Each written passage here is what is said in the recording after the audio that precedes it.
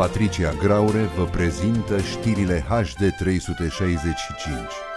Bună seara și bun găsit la știri! Sosită într-o vizită în Valea Jiului, ministrul Muncii și Protecției Sociale, Raluca Turcan, a spus că este conștientă că oamenii de aici au fost mereu ținuți cu promisiuni. Mai mult, pentru că Ministerul Muncii este cel care le dă minerilor salariile până în luna mai, Raluca Turcan a spus că are un plan împreună cu Ministrul Energiei pe viitor, dar a recunoscut că salariile în momentul de față nu au acoperire până la capăt. Ministrul Muncii și Protecției Sociale s-a întâlnit cu reprezentanții complexului energetic Hunedoara și le-a spus celor de aici că va avea, împreună cu Ministerul Energiei, un plan pentru ei. Am dorit mult să mă revăd cu ei pentru că uh, am avut șansa să pot să-i sprijin atunci când au avut nevoie de ajutor.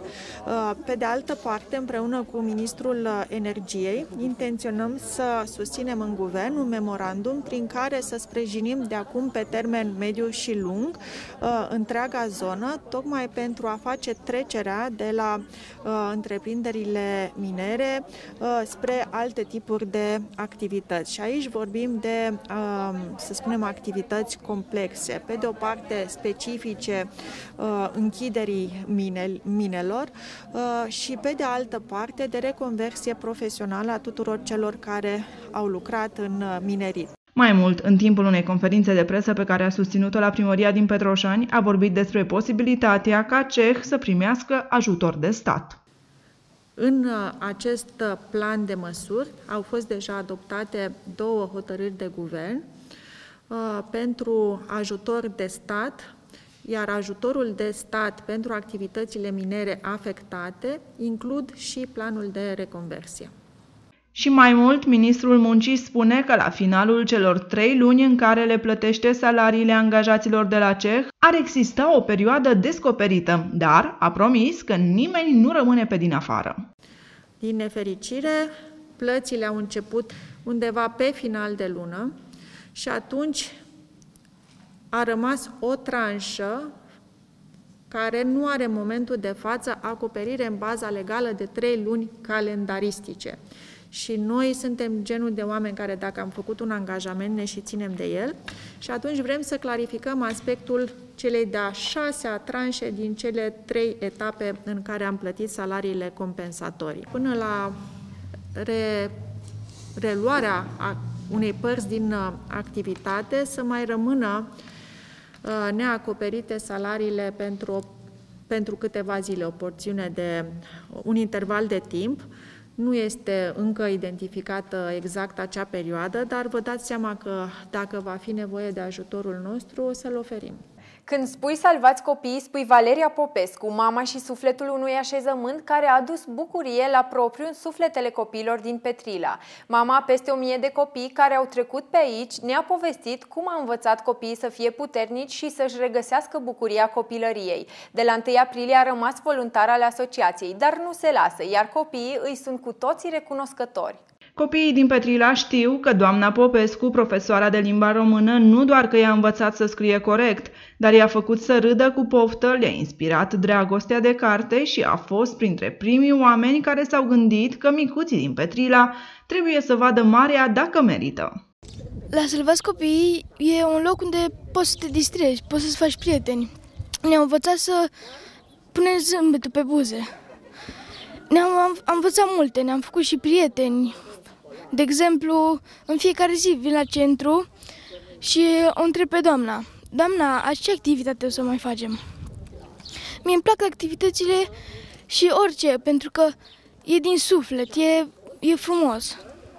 Înainte ce făceai înainte de a veni la Salvați Copii? Înainte de a veni la Salvați Copii, eu mă plictiseam ca și cum, într-un fel, pentru că la centru când își faci temele, mai vorbești, mai ceva, dar când le faci acasă te plictisești, mai una alta. Este foarte frumos. Sunt aici de 2 ani. Am fost în excursii. Uh, Asta pentru că ai învățat bine? Am învățat bine. Temele, da. Ne-a dat și tablete uh, și aine. Mi-a dat foarte multe. Uh, eu vin de vreo 2 ani, cât știu eu, 3. Nu prea știu de cât ani vin eu, dar știu că aici este extrem de fain și am văzut marea datorită centrului. Ce vă place voi? Îmi place pentru că doamnele ne duc în uh, excursii, îmi place că fac activități cu noi și că ne învață la școală să fim mai buni. Ne place că ne dau haine când nu avem și mâncare acasă ne dă și îmi place aici. Valeria Popescu a fost președinta acestei organizații timp de aproape un sfert de secol și toate reușitele i s-au contabilizat în suflet. În 23 de ani să vorbești despre reușite e foarte greu.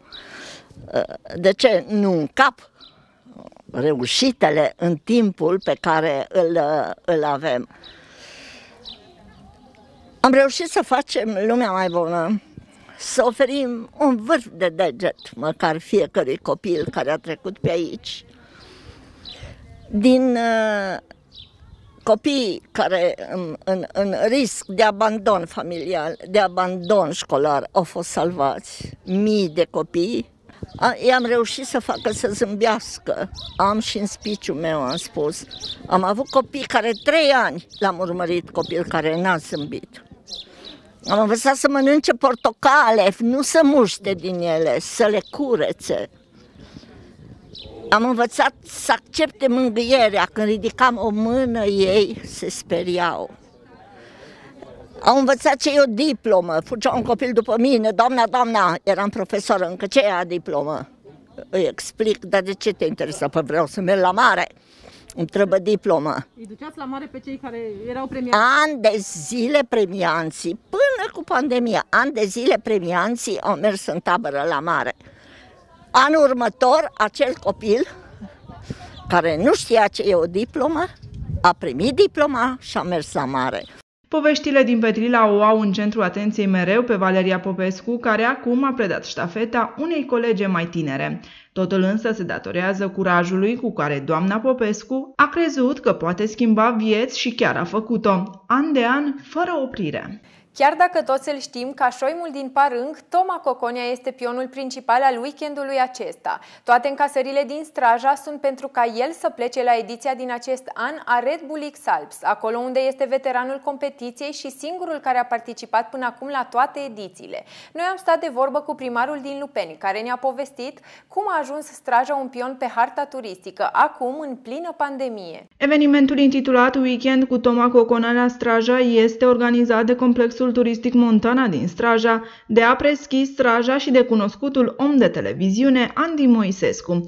Toma Coconea este singurul om din lume care din 2003 a participat la toate competițiile Red Bull X-Alps și unicul care a primit distinția X-Alps Man de la prințul Albert de Monaco. Un moment de bucurie, să știți, pentru noi că putem să facem acest lucru. Să știți că evenimentul, într-o mare proporție, îi se datorează lui Andy Moisescu, căruia vrem să-i mulțumim din suflet pentru faptul că este ambasadorul stațiunii Straj, ambasadorul Văijiului și să știți că mă bucur.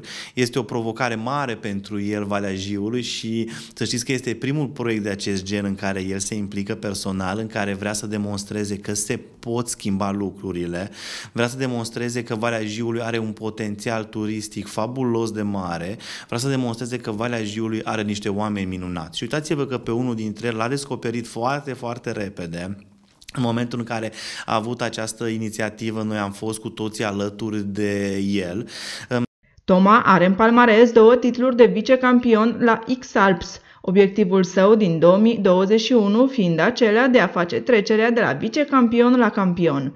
Telegondola, ca și toate instalațiile de transport pe cablu, vor produce bani pentru Toma și asta ne-a spus primarul Lucian Resmeriță împreună cu Asociația Prostraja, împreună cu firma Comexim, vom face în așa fel încât vom încerca să adunăm cât mai mulți bani pentru a-i putea uh, folosi într-un uh, scop, uh, nu pentru noi, nu pentru el, pentru întreaga țară. Sunt lucruri minunate care se pot întâmpla și sunt convins că vom uh, face în așa fel încât vom reuși să strângem uh, niște fonduri destul de mari, astfel încât să nu mai aibă probleme din punct de vedere al achizițiilor de care dânsul uh, are nevoie. Echipamentele care sunt, cred că, foarte scumpe, cazatul, ca ceea ce face el în zona respectivă. Ne bucurăm că suntem alături de el și sunt convins că toți oamenii care s-au implicat în această acțiune au făcut-o în primul rând cu sufletul. Sunt implicați în toată această campanie peste 25 de pensiuni, cabane și vile din Straja, toate încasările de la telescaunuri și instalațiile de transport pe cablu. Și cei din primărie s-au implicat și primarul sau viceprimarul au răspuns invitației. Așa că dacă urcați în Straja la finele acestei săptămâni, țineți cont că îl sprijiniți pe Tomi să ajungă din nou în Alpi. O campanie ce are loc la nivel național ne îndeamnă să aducem în câteva puncte din Valea Jiului dopurile de la sticlele de plastic. Salvăm astfel viața unui micuț care suferă de o boală gravă. Așa că, dacă aveți o sticlă de suc, păstrați dopul și duceți-l când puteți la un astfel de centru. Apelul umanitar a fost lansat și la noi și îl vizează pe un copil ce suferă de o boală incurabilă. La Petrila, mai mulți oameni au răspuns prezent inițiativei, iar la serele din Lonia deja vin zilnic oameni să aducă dopuri. Ă, dopurile pot fi aduse aici la noi la Solar, pentru cine cunoaște este la Lonia, pe strada Pieții numărul 1, pot fi aduse la primărie, la taxe și impozite, la Crucea Roșie. Ne-am mobilizat și noi, fiindcă vine foarte multă lume la noi în perioada asta și am spus că trebuie să ajutăm într-un fel uh, acest copil. Ștefan Suciu a primit diagnosticul de amiotrofie spinală musculară de tip 1, ceea ce înseamnă că în timp el va fi afectat de degradarea progresivă a musculaturii întregului corp. Tratamentul care oprește evoluția bolii este făcut pe baza unui medicament ce costă 2,1 milioane de dolari, la care, așa cum spun organizatorii campaniei, se adaugă costurile spitalizării. Dopurile vor fi valorificate, iar copilul are șanse la o viață mai bună. Ștefan Suciu din Oradea, județul Bihor, este un băiețel care acum are nevoie mai mult ca oricând de ajutorul semenilor. De aproape 2 ani copilul se chinuie de o boală îngrozitoare, maladie genetică pe care o poate învinge doar cu ajutorul unui vaccin salvator adus din Statele Unite ale Americii. Știrile se opresc aici. Eu vă mulțumesc pentru atenție, dar nu uitați, ne revedem și mâine la retrospectiva știrilor. Să aveți un weekend minunat!